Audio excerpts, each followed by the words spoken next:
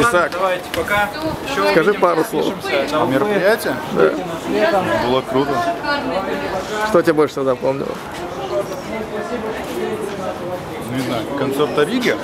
Звук там плохой был. А что понравилось? Из Евангелиона девочка. Потом зайки понравились. Ну, в общем, все, что связано с латексом, с роботами. Это красиво, сексуально. Пошел бы еще раз на кино. Да. С базара. А ты? Конечно. Куда ты денешься? Нормально. Попрощайся. Все, бис.